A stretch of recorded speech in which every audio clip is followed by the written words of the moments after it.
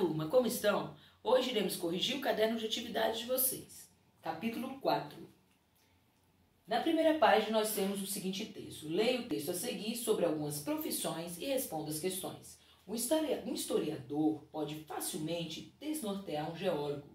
Se perguntar qual a idade da vasta camada de rochas sedimentares conhecida como Grupo Bambuí, que formam a pequena área dos estados de Goiás e Tocantins e boa parte de Minas Gerais e Bahia. Vai ser uma hora de discussão.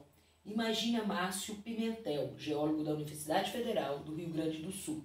Os geólogos começaram a estudar essa região há 30 anos, mas a idade atribuída a ela ainda é incerta, varia de 740 milhões a 550 milhões de anos, dependendo do método de análise adotado. Os distintos conjuntos de rochas sedimentares do grupo Bambuí ocupam cerca de 300 mil quilômetros quadrados, na direção leste a oeste. Estende-se de Brasília até a Serra do Espinhaço, em Minas Gerais. Em Minas, em profundidades de até 2 quilômetros. De norte ao sul, seguem de Belo Horizonte até o norte da Bahia. Essa possibilidade aproxima o grupo Bambuí do período geológico conhecido como Cambriano, que começou há 544 milhões de anos e terminou há 488 milhões de anos. Foi quando, possivelmente por causa do acúmulo de oxigênio na atmosfera e nos oceanos, surgiu a maioria dos grupos de animais, antes só havia vida microscópica. Porém, se as rochas do grupo Bambuí fossem realmente tão jovens como as amostras do zircão estão indicando, já teriam sido encontrados fósseis de invertebrados que ajudam a definir a idade da rocha. Eu mesmo pergunto, onde estão os fósseis? Diz Pimentel. Para ele, ainda não foram vistos fósseis na região, porque os paleontólogos não escavam por lá assiduamente e os geólogos teriam o olho apurado para as rochas, não para fósseis. Esse era o texto e vinha seguindo das seguintes, das seguintes questões.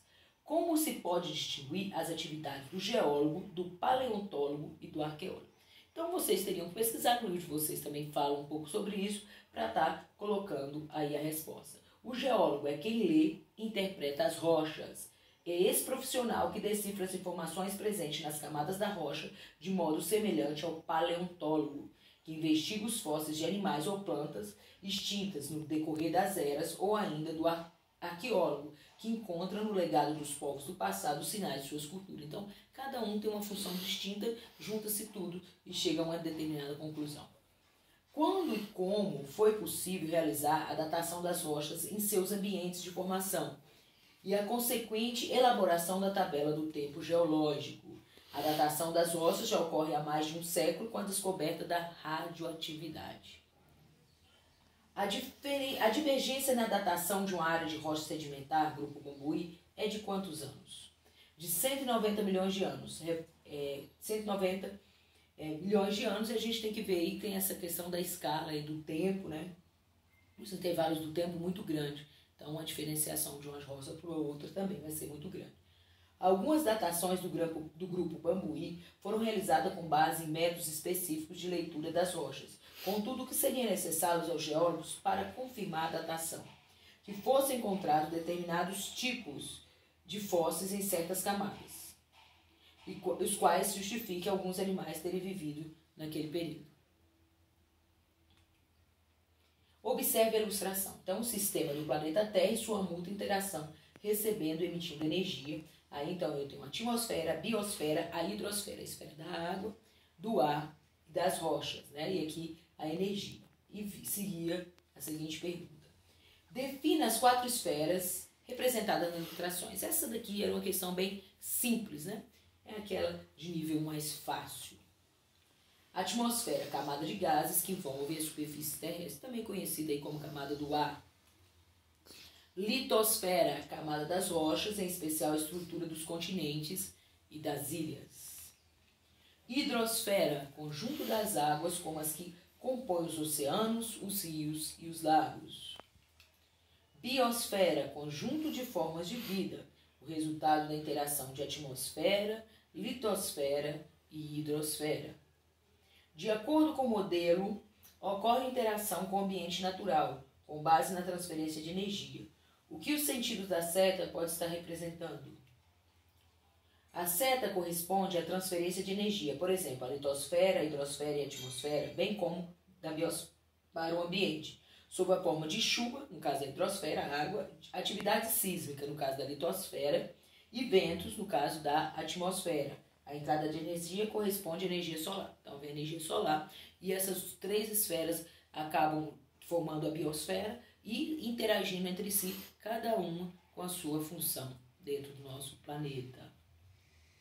Complete o quadro a seguir com os períodos geológicos correspondentes, bem como com o respectivo intervalo de ocorrência. Então, a Terra assume sua configuração geográfica atual período terciário, intervalo de tempo 65,5 milhões a 1,8 milhões de anos. Separação da América do Sul e África, período Cretáceo, intervalo de tempo 146 a 65,5 milhões de anos. Agregação do supercontinente Pangeia Permiano, intervalo de tempo 299 a 251 milhões de anos. Disseminação de organismos marinhos como os molúsculos. Cambriano, intervalo de tempo 542 a 588 milhões de anos. Né? Aqui de baixo para cima, o surgimento de cada evento aí do nosso planeta. A Pangeia aos, corresponde ao supercontinente formado na era Paleozoica, resultado da junção dos que viriam a constituir os atuais continentes. Sobre isso responda a questão. Em que era a Pangeia começou a se dividir? E quais massas continentais resultaram dessa divisão? Né? Pangeia significa ali toda a Terra. Então, na era Mesozoica, tudo isso vocês vão saber olhando aquela tabelinha, prestando atenção em cada data ali para vocês conseguirem classificar. Há cerca de 240 milhões de anos, resultando de dois continentes, Laurásia no hemisfério norte e Gondwana no hemisfério sul, né? Naquela parte ali de Gondwana. Então aqui eu tenho que atuais continentes estão representados na ilustração a seguir, de acordo com a letra A, B, C, D. Aqui também não tinha tantas dificuldades assim. A, subcontinente América do Sul, em maior parte, né? Aqui eu tenho a América do Sul. B, subcontinente América do Norte, em maior parte. C, Europa e Ásia. E D, África. Ok? Então, esses daqui foram a composição aparentemente, como fala, a maior parte, porque teve partes que acabam se desagregando ali e se locando em outras áreas. A imagem a seguir do município de Floresta, no Paraná, representa um tipo de solo de elevada fertilidade da bacia do Paraná, conhecido como terra roxa. Qual a origem desse solo e em quais estados ele pode ser encontrado? Então, plantação de cana-de-açúcar no é, solo aí de terra roxa, que na verdade a gente já sabe a história, os italianos falavam terra rosa, os brasileiros entenderam que era roxa e ficou terra roxa. São solos mais férteis de origem basáltica, cor avermelhada, rosa, em italiano, existente no interior dos estados do Paraná e de São Paulo. Então, solos férteis aí nesse, nesse lugar. Faça uma pesquisa, que vocês teriam que fazer essa pesquisa, sobre rochas e complete a seguir.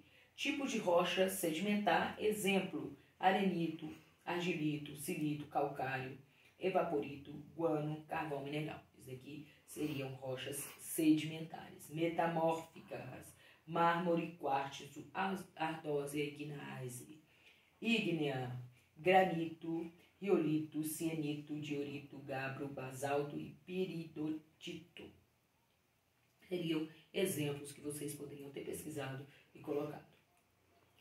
Observe o mapa a seguir e descreva as características geológicas da formação do litoral brasileiro, da planície Pantanal e planície amazônica. Né? Essas planícies, elas vão, ao longo ali das eras do tempo geológico, elas foram se transformando. Elas não eram igual elas são hoje. Então, cada uma delas aqui vai ter uma história aí geológica para contar. Então, planície amazônica foi um ambiente marinho por um longo período de tempo durante a era Cenozoica, tornando-se parte do continente apenas nos últimos milhões de anos.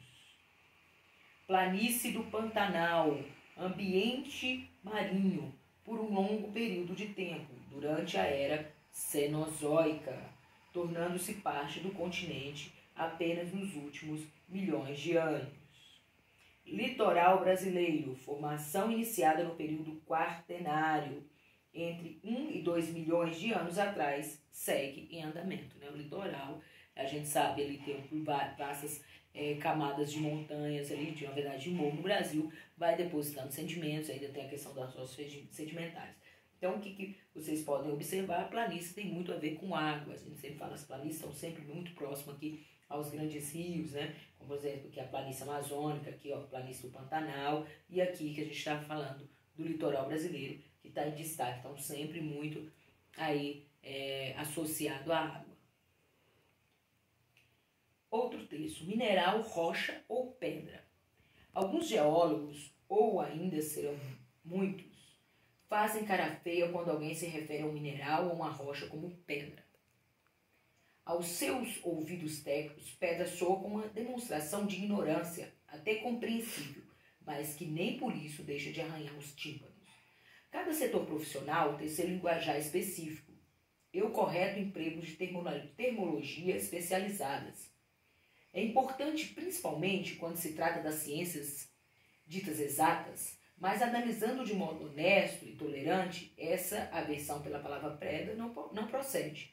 É óbvio que todos os leigos aqui, entendidos como qualquer um que não seja geocientistas, conhecem as palavras pedra, rocha e mineral. Mas é também óbvio que todos têm clara noção de que é uma pedra o mesmo, não ocorre com mineral e rocha. É preciso, pois que os geocientistas sejam pacientes e compreensíveis nesse aspecto. Por outro lado, convém lembrar que todos, inclusive os geólogos, usam normalmente a expressão pedra preciosa. E os geólogos, que são também geomólogos especialistas em gemas, ouvem e empregam com muita frequência pedra, apenas no significado restrito da pedra, de pedra preciosa. Que pedra é essa?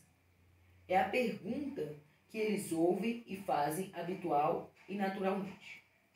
Mas não é só isso. As rochas monomineralíticas, calcário, quartzo, arenitos, turmalinitos, etc., são formados por um único mineral. Nesses casos, é forçosos convir a distinção entre rocha e mineral já não é tão clara. E a mais, o lápis lazuli, uma pedra preciosa bem conhecida, é rocha, não mineral. O mesmo acontece acontecendo com obsidiana. Mas você que está lendo isso e não é geólogo, pode muito bem querer saber como distinguir o mineral de uma rocha, já que são materiais diferentes. Se você perguntar a um geólogo quais são as características e torna um diferente do outro, talvez ele fique um tanto surpreso, pois, embora saiba diferenciar rochas de minerais, é bem possível que nunca lhe tenham pedido que comparasse as características de ambos. Entretanto, pensando um pouco, ele lhe apontará algumas diferenças mais flagrantes. É, flagrantes. Conceito: mineral, um sólido natural, inorgânico, homogêneo, de composição química definida, com estrutura cristalina. Rocha, uma agregação natural de minérios, geralmente dois ou mais, em proporção definidas e que ocorre em uma extensão considerável. Para um leigo, é difícil fazer a distinção entre um mineral e uma rocha. Entretanto, há algumas diferenças entre elas. De acordo com o texto, quais são as características dos minerais e das rochas? Aqui é a interpretação de texto, né, gente? Então, minerais sólidos naturais inorgânicos, homogêneos, de composição química definida com estrutura cristalina. Rocha, agregados naturais de minerais, geralmente dois ou mais, em proporções definidas e que ocorrem em uma extensão considerável. O termo pedra para geocientista é comumente aplicado apenas em que expressão? Cite exemplos. Na expressão pedra preciosa. Nesse sentido, temos o lápis lazuli e a obsidiana. O que são rochas monominerálicas? Cite exemplo. São rochas formadas por um único mineral, configura um exemplo que a distinção entre a rocha e mineral já não é tão clara. Exemplo: calcários, quartzos, arenitos e turmalinitos. Explique, explique sinteticamente a formação das rochas magmáticas, sedimentares e metamórficas, com base no ciclo da rocha. Né? As rochas magmáticas podem se formar a partir da subdicção de uma placa tectônica. Vocês lembram? Elas vão se chocar, uma vai descer e fazer esse movimento. É, de uma placa oceânica como continental. Ascensão e resfriamento do magma geram as rochas ígneas, tá bom? E depois as montanhas vão formar aí as rochas sedimentares. Por quê? Porque elas vão soltar aí os detritos e vão formar as rochas sedimentares. Explique sinteticamente a formação das rochas magmáticas sedimentares metamórficas. Por que, que eu repeti aqui? Porque lá a resposta ficou é, incompleta, tá bom? Aí por isso que eu coloquei. Então, as rochas magmáticas podem se formar a partir da subdicção de uma placa oceânica continental. Ascensão e resfriamento do magma geram as rochas ígneas. As montanhas constituídas por meio da colisão do sorrimento das placas da própria formação das rochas ígneas sofrem os processos erosivos, como a chuva, neve e rios. Tais sedimentos são transportados, depositados e soterrados sofrendo litificação e formando as rochas sedimentares, sob pressões externas ao longo de margens tectônicas ativas, tais rochas metamorfosem-se. O mesmo ocorre com as rochas ígnicas, nessa condição, formando as rochas metamórficas. Então, o ciclo das rochas é o quê? A composição delas, a formação delas, né? Magmática, ela vai poder ser intrusiva ou extrusiva, tá bom? Então aí eu vou ter as, as magmáticas, como eu já falei para vocês, elas são as mais antigas e as mais novas, elas estão aí desde do resfriamento do nosso planeta e através de erupção vulcânicas elas se formam até hoje, né? Eu tenho aí, são as magmáticas, eu tenho as sedimentares que formam através de sedimentos, né? De, de cadeias, de restos de cadeias de montanhas, através da ação do vento, da chuva, das águas que vão depositando isso daí vão sendo soterrados esses pequenos sedimentos, né, pequenas partículas de rocha que vão soltando para se formar. E as metamórficas através aí das pressões e temperaturas na, na nossa crosta. Assim se completa o ciclo das rochas. Leia o trecho a seguir sobre os solos da Amazônia. Como consequência do elevado grau de intemperismo e da pobreza do material de origem, esses solos são em geral muito ácidos, pobres em nutrientes disponíveis e apresentam elevado teor de alumínio. Como na maioria dos solos muito temperizados, a matéria orgânica desempenha papel fundamental no processo de nutrição das plantas e de ciclagens de nutrientes. O que ele está falando aqui é que o solo da Amazônia é pobre como pode, aí de repente as pessoas perguntam, como que pode um solo tão pobre ter uma floresta tão exuberante? Porque, na verdade, ela é adubada, pode-se dizer assim, pelos animais que morrem, pelas plantas que morrem ali, pelas folhas, enfim, vai dando nutri nutrição ali àquele solo. Primeiro, ele quer que você defina aqui intemperismo. Corresponde ao processo de desagregação das rochas, provocado por diferentes fatores, como ação das variações de temperatura e de pressão, da chuva, do vento, das geleiras, das raízes das plantas, entre outros. Então, isso aqui é o intemperismo, né? Então, eu posso ter intemperismo químico, intemperismo físico, ele vai desagregar aquelas rochas, porque a matéria orgânica desempenha um papel fundamental na ação do intemperismo nos solos amazônicos. Porque quando o solo sofre elevada ação do intemperismo, torna-se pobre, com elevada concentração de alumínio, por exemplo. Dessa forma, a matéria orgânica é fundamental para assegurar a fertilidade dos solos amazônicos. Então, tudo ali vai segurar. Aqui temos um outro exemplo de ciclo das rochas. As rochas fazem parte da nossa vida, da fundação de uma edificação até o seu revestimento como em pias e mesas. Para isso, a natureza oferece uma grande variedade de rochas, cujas características físicas e químicas dependem do processo de formação a imagem demonstra o ciclo da formação das rochas, como vocês podem ver. Após analisar a imagem, verifique-se que a rocha sedimentar é formada pela cimentação e, compacta e compactação dos sedimentos, provenientes do desgaste de todos os tipos de rocha. As rochas metamórficas são formadas pela transformação de rochas sedimentares e metamórficas em um ambiente de pouca pressão. Só dessa, será? A rocha metamórfica é formada pela solidificação do magma proveniente do núcleo terrestre, cuja composição química é homogênea. Metamórfica, magma, vamos pensar nisso. A rocha sedimentar apresenta o mesmo processo físico de formação da rocha magmática, pois ambas dependem de resfriamento do magma, será? Então vamos ver aqui opção que vocês marcaram aí.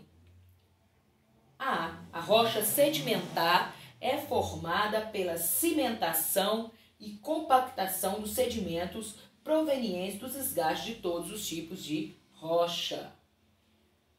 O esquema mostra depósitos que aparecem fósseis de animais do período Jurássico. As rochas em que se encontram esses fósseis são. Então aqui a gente está vendo o esqueminha, né, com os depósitos aqui, os, enfim, ali, é, fósseis. Magmáticas. As rochas que se encontram expostas são magmáticas, pois a ação de vulcões causou as maiores extinções desses animais, já conhecidos ao longo da história terrestre. Sedimentares, pois os restos podem ter sido soterrados e litificados com restantes dos sedimentos. Magmática, pois são rochas mais facilmente erodidas, possibilitando a formação de tocas que foram posteriormente lacradas. Sedimentares, já que cada uma das camadas encontradas na figura simboliza um evento de erosão dessa área representada. Metamórfica, pois os animais representados precisavam estar perto de locais quentes. Então, cada é, questão dessa aqui, A, B, C, D, enfim, tem um, um significado aí. Então, vocês têm que parar, têm que pensar e têm que analisar, né? Como que esses fósseis chegaram aqui? Será que eles foram soterrados? Será que eles, esses animais, eles se aproximaram dali, como está falando, porque era quente? Eles tinham tocas ali? Então, quando você for analisar uma questão dessa, você tem que pensar no, no mais é, é, coerente, né? Tem coisas que às vezes, se a gente for observar, parecem bem aí absurdas. Então, vamos ver a resposta que vocês marcaram aqui. Seria B, sedimentares, pois os restos podem ter sido soterrados e litificados com restantes sedimentos. Gente, é lógico que essas rochas, elas vão surgindo, enfim, e também esses fósseis através do soterramento, né? Os animais foram ali morrer ou, ou era uma área é, alagado ou foi sendo soterrados. Por quê? Porque quando você acha, acha os fósseis, o que, que você vai fazer? Você vai tirar ali, né, aquela parte que está soterrada, não deixar é, achar perto de um lugar muito quente. Os animais, eles não iam para perto de um vulcão ou nem para perto do, do, do alago ali que estava escorrendo do vulcão, eles iriam se queimar. Então ficaria um pouco mais absurdo aí, né?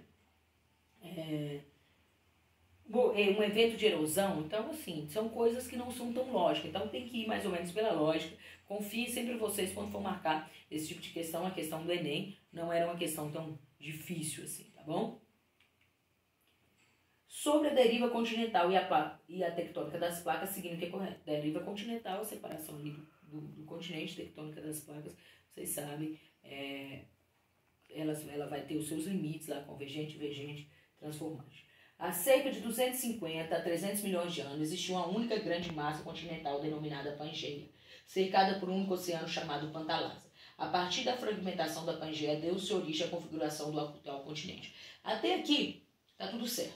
O que você tem que saber é se essa datação aqui está certa. Então você já teria que ter estudado lá a tabelinha e prestado atenção nisso aqui. A isostasia é o estado de equilíbrio dos blocos continentais que flutuam sobre o manto. Os blocos mais espessos, portanto mais pesados, encontram-se profundamente mergulhados no substrato magmático, enquanto os blocos mais finos e leves encontram-se pouco mergulhados no magma. Vamos ver isso aqui daqui a pouco.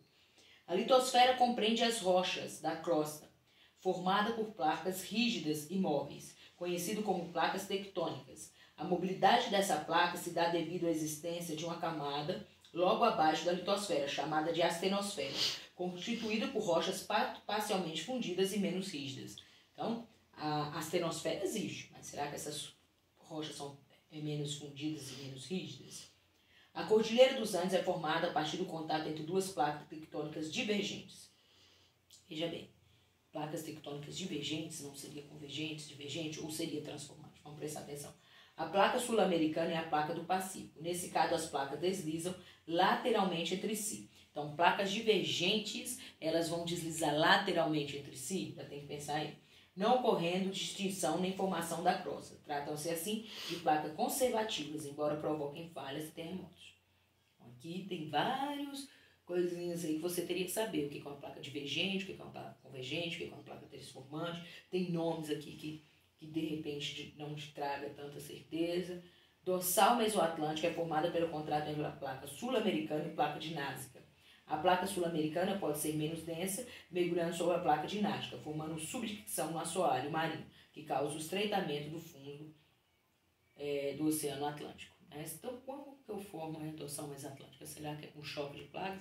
Será que é com afastamento de placas? Como será? Então, vamos ver a resposta correta? Seria a 1.